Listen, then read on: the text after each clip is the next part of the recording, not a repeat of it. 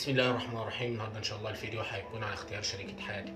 إزاي أنت تختاري شريكة حياتك وما تقعش في نفس الأخطاء اللي ناس وقعوا قبليكي قبل كده. طب أنا هعمل إيه؟, إيه؟ أول حاجة حطي قوانين حطي قوانين. إزاي أنا اختار شريك شريكة حياتي؟ إزاي أنا